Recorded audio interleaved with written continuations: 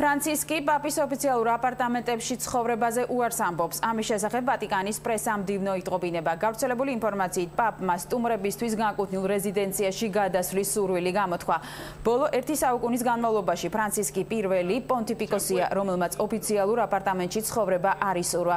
რომის ახალმა პაპმა ეგრეთ წოდებული პაპა მობილით გადაადგილებაზეც უარი განაცხადა და საერთო სასადილოში სადილობს. See is concerned the traditional position of the Holy See is it doesn't take